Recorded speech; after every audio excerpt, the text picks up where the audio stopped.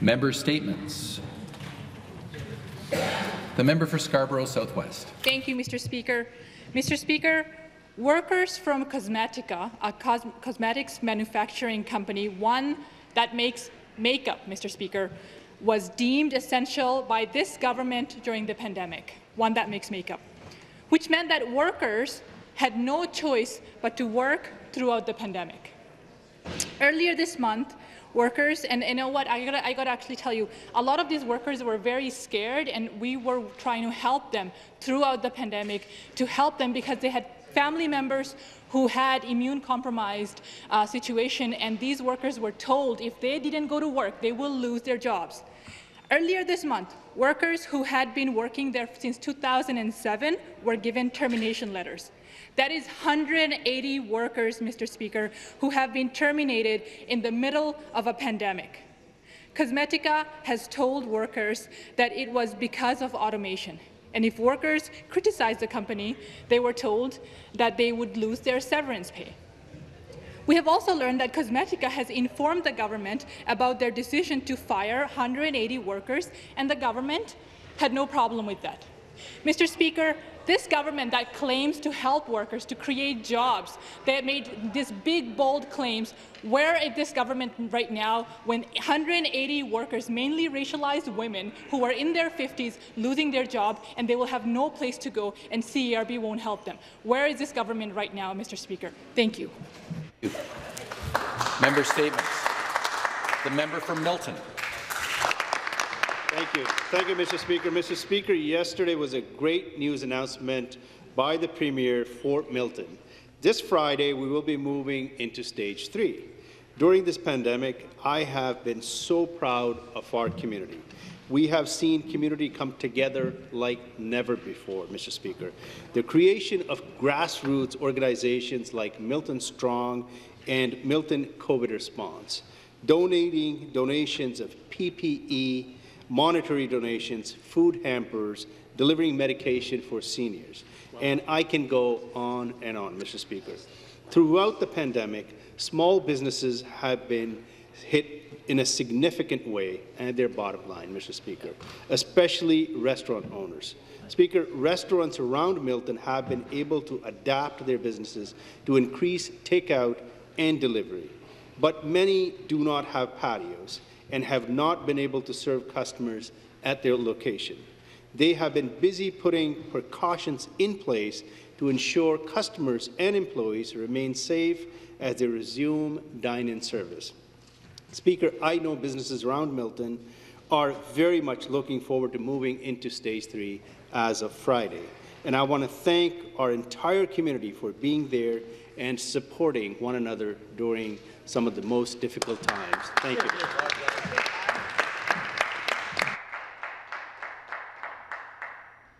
Member for Humber River, Black Creek. Thank you, Speaker. From the outset of this pandemic, Ontario, Ontario's NDP called for the collection of race-based and other demographic data to concentrate the necessary resources to fight the spread of COVID-19. Of course, people already struggling before a crisis will be the hardest hit. I'm talking about vulnerable seniors in long-term care facilities. I'm talking about low-income, essential workers packed like sardines in transit, unable to work from home, many living together sharing small units because the cost of housing in Toronto is unlivable. I'm talking about overworked and underpaid frontline health workers. Let's stop just praising them and let's really start helping them.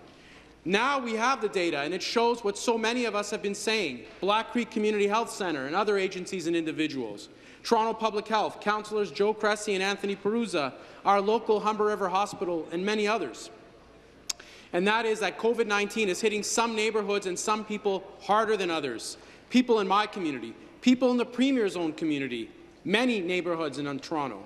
I want to thank Christian Centre Church in my community for making its space at 4545 Jane Street available for mobile COVID-19 testing. There will be testing again tomorrow, Wednesday, June 22nd from 48 p.m. and from Friday, June 24th from 4 to 8 p.m. There's more we need to do, and we meet, need more testing dates. And we also need help to help those who need to self-quarantine when they test COVID possible, uh, COVID positive. We're all in this together. Let's keep up the hard work. Thank you. The member for Thornhill. Thank you very much, Mr. Speaker. Join my residents of Thornhill in accepting a bit of the new normal. Uh, people are wearing masks now, specifically indoors, and um, the medical experts are advising us to wear the mask. York Region now, since July 17th, has mandated the wearing of masks. The order is in effect until November 30th. Um, you know what? I want to remind people to wash their reusable masks, and in fact, they can fold up a piece of paper towel and put it in the little pocket and keep changing that as the day goes on, um, and that's also recommended. Um, I just wanted to mention that during the campaign, I was asked what Premier Doug Ford, at the time he was the leader of our party, uh, what, was it, what was Doug Ford like? And I said he was actually like a camp director. And I think this pandemic really shows that. Um, he's shown great leadership, through these unprecedented times, and I want to personally thank Premier Doug Ford, and my riding wants to thank him as well. Jillian Rashkevan from Thornhill made a beautiful box. It's in the UPS store next to my office, and uh, people have already started putting in thank you cards to the Premier in the box. I want to invite all my colleagues from all parties to join me in thanking the Premier. A big, huge thank you, and to wish him well, to ask him to please take some time off. I don't believe he's had a full day off this entire pandemic. Please take some time off to spend with your beautiful wife, your wonderful daughters, and, um, and your friends and relatives. So thank you, everybody. Stay safe and enjoy the warm weather. Thank you very much. Member Statements, the member for Kiiwetinoong. Good morning, uh, Mr. Speaker. Since the state of emergency uh, began in March, there has been 10 deaths by suicide in the communities in my riding. Unfortunately, uh, the situation is not unique. Uh, First Nations people face um, mental health issues and experience crises uh, on a regular basis. These issues come from uh, our experiences of uh, inequality, cultural disruption, oppression, and colonialism that continues today, Mr. Speaker. Although there have been many announcements of funding to support mental health, there's a difference between investing in communities and committing to actual mental health transformation. Mr. Speaker, uh, flying communities, uh, flying First Nations are left to face the consequence of, having no drinking water, no safe, affordable housing, reduced access to education and health care, all of which reduce our quality of life. Speaker, uh, we understand, we have to understand that this is a, uh, a much deeper issue. Our communities do not have the social determinants of health. On top of that, uh, they are responding to mental health and suicide emergencies. Mr. Speaker, this is a crisis and it needs to be taken seriously. Life under this pandemic has worsened these issues. Without appropriate and proper access to medical supplies, uh, healthcare professionals and mental health uh, supports, we cannot call this equality. How can Ontario say that they provide equal treatment for everyone? We need better uh, mental health supports, better access, and better treatment. And we need it now. Mr. Speaker. Thank you. Member statements. The member for Ottawa Vanier. Merci, Mr. Thank you, Speaker. I want to take this opportunity to reflect on my first few months as the new MPP for Ottawa Vanier. I want to start by thanking you, all members, for the kind words of welcome as I joined the legislature in this unique, challenging time. Navigating my way through a reality that has been changing every day has been part of the challenge, but Keeping on top of things so that I can guide constituents reaching out to me has revealed the importance of being there to help. Sitting in this chamber, I have been encouraged by the spirit of collaboration I have seen between all members since the beginning of this pandemic. Many people have expressed how much they appreciate this collaboration as it reflects that we are working together in their best interests. However, as we continue into the fall, we should be aware of how we can still do better and strive to build upon our collaborative effort of this summer. Another aspect of my work here, and that is very important, is the possibility to work in respect. I have raised my kids teaching them respect, respect, respect of others, of their environment, and I would like them and all Ontarians to feel included and inspired by our actions here instead of being cynical towards politics. I can't wait to keep working with all members here when we start again in the fall, and I encourage all of us to try to do the best of what we have learned during the pandemic by being more collaborative. Thank you, Speaker. Merci beaucoup. Thank you very much. Member for Eglinton Lawrence. Since COVID-19 first emerged as a public health threat in Ontario earlier this year. In fact, it's been almost six months to the first case, January 25th. And thanks to the hard work and determination of people across our province, we are seeing positive trends continue. More businesses are reopening and more people are getting back to work. Many regions of the province have already entered stage three, and more will enter this Friday. And while it may take a little bit longer for those of us in Toronto, Peel, and Windsor-Essex, we're on the right track. But this does not mean that the pandemic is over. Far from it. You don't have to look any further, unfortunately, than my riding, where the Villa Colombo continues to struggle with a COVID-19 outbreak that has yet to be resolved. Last week, Humber River Hospital was appointed by the Ministry of Long-Term Care to manage Villa Colombo on an interim basis, and I sincerely hope that they can resolve the out outbreak very quickly, as residents in the home need to be healthy and safe first, but they also need to see their loved ones.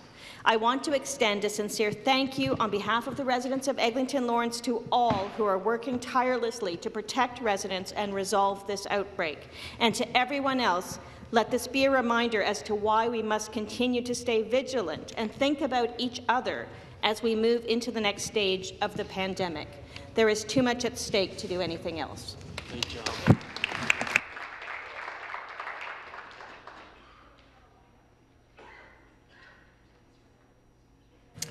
Member statements.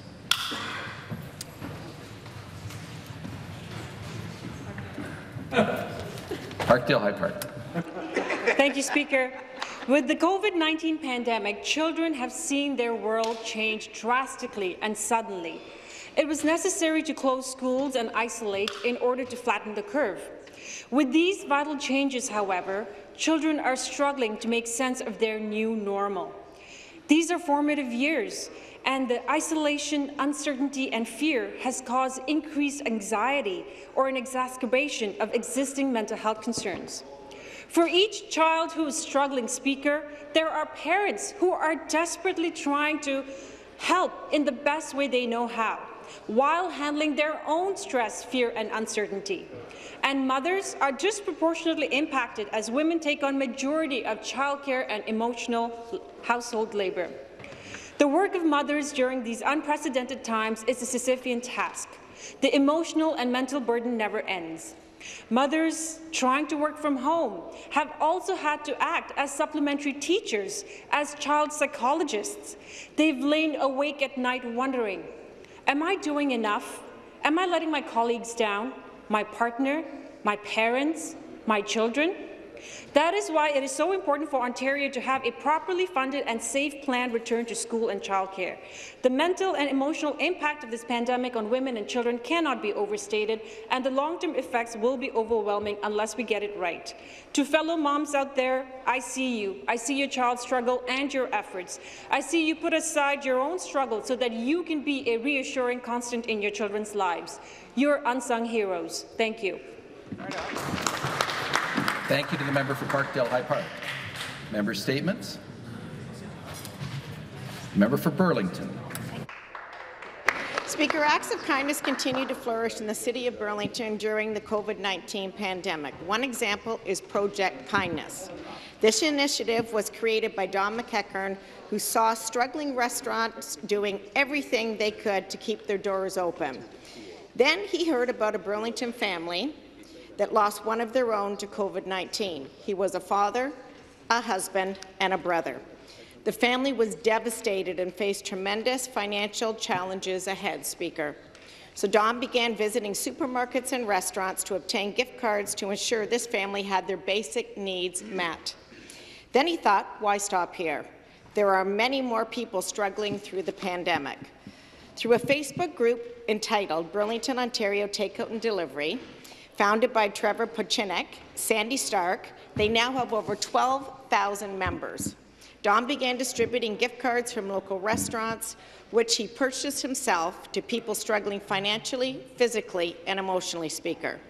To date, hundreds of people have been impacted by his generosity and his kindness. These include frontline workers, first responders, single mums, the elderly, and kids who are helping others during this crisis, just to name a few. Speaker, it is my pleasure to publicly acknowledge Don's efforts and thank him for his selfless compassion. His actions are one more example of the Burlington spirit that I have seen over and over again as a community has rallied together to each other during this difficult time. Thank you, Speaker.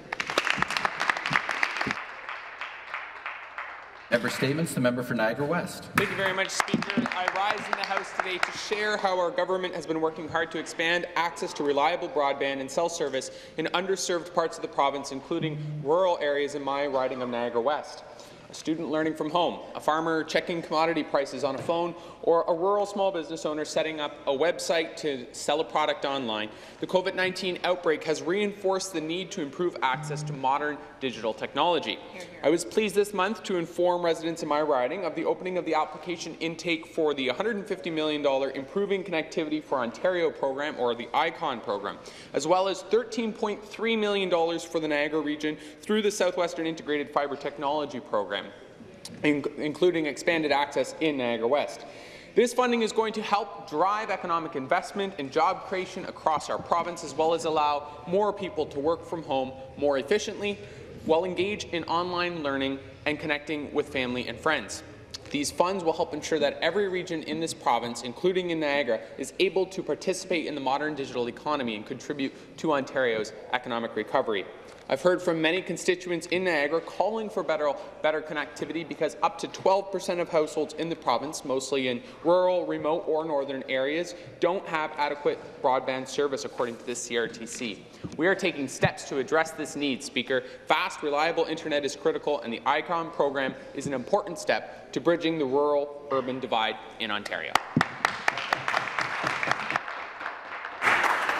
Thank you very much. That concludes our member statements for this morning.